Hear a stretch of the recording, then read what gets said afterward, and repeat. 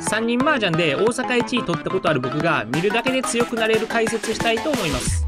さあ、こちらがシャーと E ピン泣いてるんですが、ここで9ピンポンしまして、さあ、テンパイ。急走で上がると、本浪トイトイドラドラ。チュンで上がると、本浪トイトイチュンドラさんで、羽マンか倍マンかって感じですね。めちゃめちゃ強いです。